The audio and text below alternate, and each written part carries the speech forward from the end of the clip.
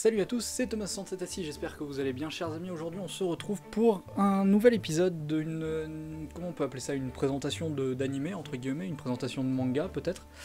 Euh, voilà, c'est une petite émission, j'ai changé un petit peu le, format, vous voyez.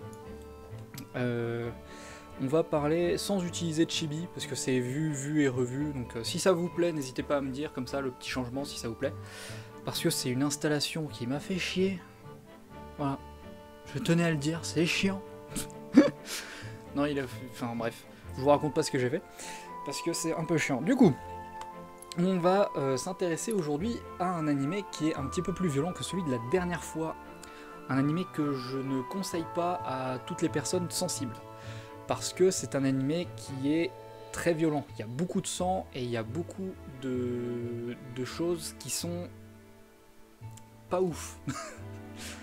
qui sont pas ouf et si vous êtes une personne assez sensible, je vous conseille de ne pas regarder l'animé. Voilà. Non, en fait, si vous voulez, c'est l'animé qui m'a le plus euh, le plus marqué en 2018. Justement parce qu'il est très différent dans le sens où il est euh, clairement c'est du 18 hein, large. Euh, donc à moins que vous soyez assez résistant, vous pouvez y aller à 16 ans, mais c'est c'est violent. c'est très violent, c'est de, la dark, de la dark fantasy. C'est un seinen de dark fantasy. Alors, il y en a quelques-uns qui ont regardé ma vidéo la dernière fois et qui n'y connaissent rien en animé. Je vais juste vous expliquer un petit peu ce que c'est un seinen. En fait, un seinen, c'est un manga qui est destiné aux jeunes hommes. Voilà, c'est tout simple, c'est une adolescence en fait, entre 15 et 30 ans on va dire, parfois, parfois au-dessus. Et en fait, le terme seinen, shonen euh, et autres, ça désigne le, la cible éditoriale d'un manga. Voilà, c'est une petite base pour pouvoir suivre les présentations, pour pouvoir reconnaître un petit peu ce que c'est qu'un manga. Euh, je vous expliquerai à chaque fois ce que c'est au début de la vidéo. Euh, quand, quand, je dis tel animé est un, enfin, tel manga est un shonen, ou tel, euh, tel manga est un seinen, je vous expliquerai ce que c'est. D'ailleurs, euh, celui dont on va parler, comme je l'ai dit, c'est un, un seinen. Aujourd'hui, chers amis, comme je l'ai dit, seinen, tout ça, tout ça, on s'intéresse à Goblin Slayer.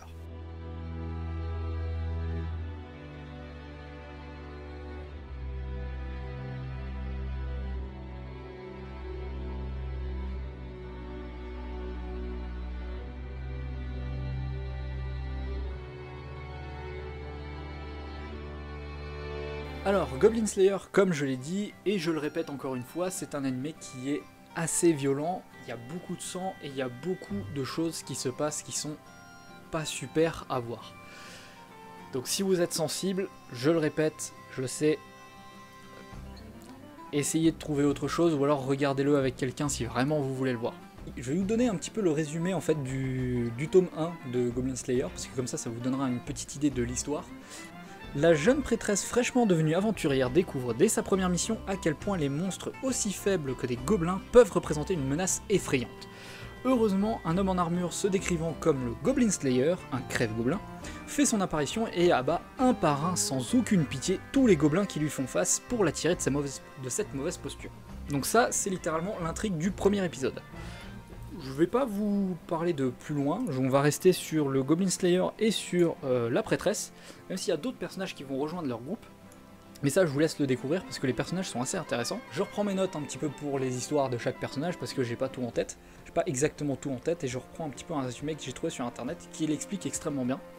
Le personnage principal de la série est un aventurier expérimenté de rang argent qui ne se préoccupe de chasser que des gobelins, au point que la guilde lui a attribué un titre de spécialiste en raison de la quantité impressionnante de gobelins qu'il a tués ainsi que ses recherches sur leurs habitudes et la biologie. Les tâches qu'il accomplit impliquent seulement les gobelins et n'en prend pas d'autres, malgré le fait qu'il soit souvent amené à réaliser des quêtes de plus en plus sinistres pour des raisons dépassant son contrôle, son apparence n'est pas très chic ou élégant car il utilise un équipement qui semble déficient à vue d'œil pour un aventurier de son rang. Même s'il ne porte qu'une armure légère et un petit bouclier et de temps à autre une petite épée courte, l'un des personnages du groupe a remarqué que son équipement est parfaitement adapté pour affronter les gobelins dans leur tanière sombre et étroite. Son style de combat repose davantage sur le pragmatique, comme la mise en place de pièges, l'utilisation d'armes contre son utilisateur, et profiter de tout avantage qui se présente. Il fait même preuve d'imagination en demandant à la princesse de lancer un sort de protection afin de tuer tous les gobelins dans une forteresse elfique dont il a mis le feu.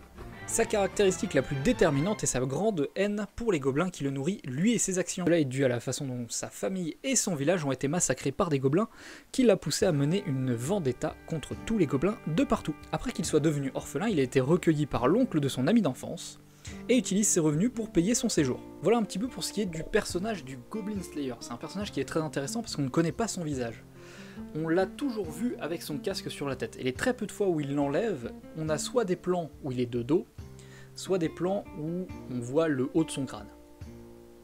Il faut savoir aussi qu'à la guilde, très peu de personnes connaissent son visage. Il n'y a que la personne qui gère un petit peu les, les aventuriers, les récompenses, il n'y a qu'elle qui connaît son visage. Même la prêtresse du début dans son groupe ne connaissait pas son visage jusqu'à un certain point dans l'histoire. Justement, on parle de la prêtresse. Je vais vous faire un petit résumé sur la prêtresse, histoire de vous présenter le personnage. La prêtresse. Le personnage principal féminin.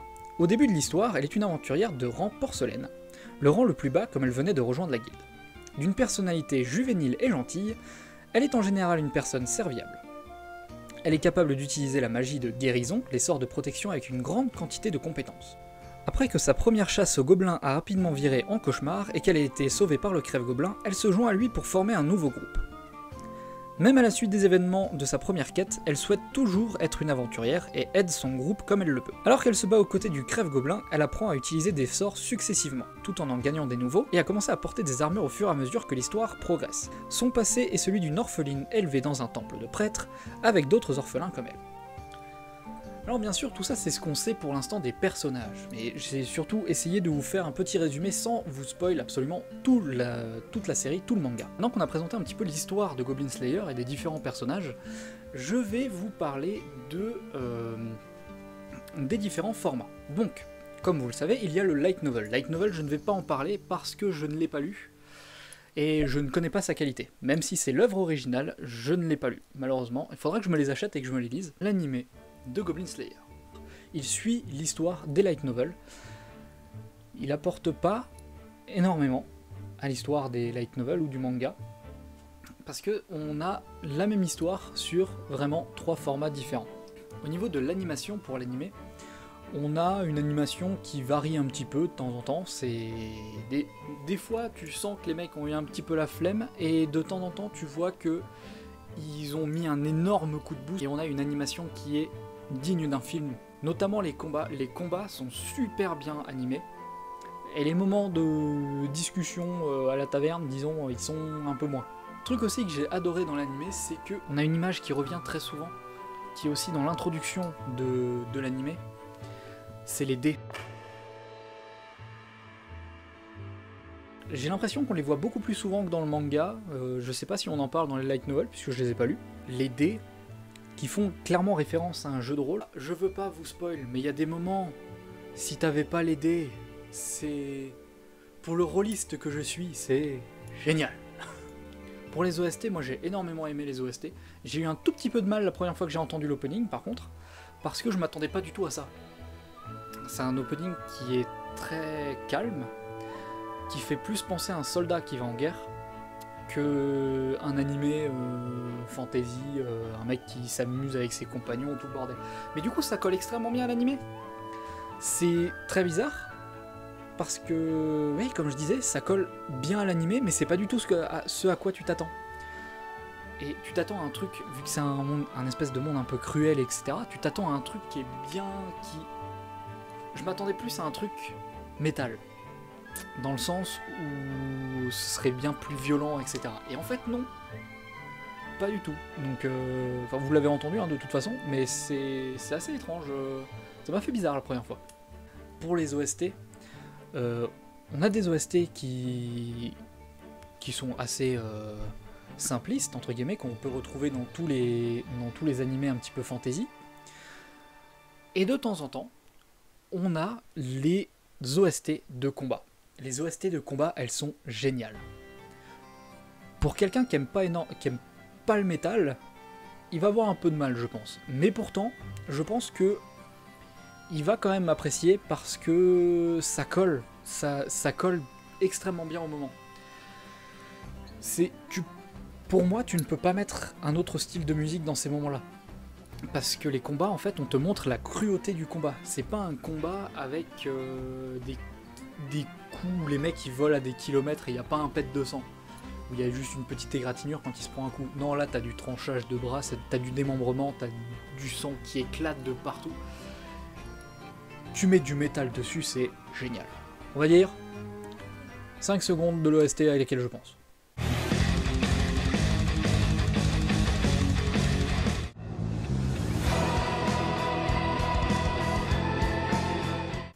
Maintenant, je pense avoir fait un petit peu le tour de, de l'animé. Donc, on va parler du manga. Donc, le manga, moi, j'ai adoré. Également. Alors, je sais, j'adore Goblin Slayer, donc forcément, j'ai adoré le manga. Mais c'est juste que les dessins sont absolument magnifiques. C'est-à-dire qu'on a un truc, il n'y a pas une seule case d'une page qui est, qui est bâclée, en fait. C'est... Donc forcément, vous savez, on n'a pas un chapitre par semaine on a, euh, je crois qu'on a un tome par euh, tous les trois mois, je crois, un truc comme ça, et ça alterne entre Goblin Slayer Years One et Goblin Slayer. Alors, pour ceux qui savent pas ce que c'est Goblin Slayer, j'y reviens juste après. Mais en tout cas, pour Goblin Slayer, c'est directement inspiré du, light novel, encore une fois. Il faut savoir que l'anime et le manga euh, ont beaucoup de choses en commun, mais seulement parce qu'ils sont tirés tous les deux de la même œuvre originale. et je pense même que le manga reprend un petit peu des choses de l'animé. Par exemple, ça, c'est les dessins constants dans, euh, dans tous les tomes de Goblin Slayer. C'est vraiment un, truc de fou. Les dessins sont absolument sublimes. Alors je vous montre un petit peu différents, euh, différents types de dessins. Hein. Ouais, alors je vais peut-être pas montrer cette page en fait. je passerai pas sur YouTube. Voilà, moi j'ai adoré les visuels du manga.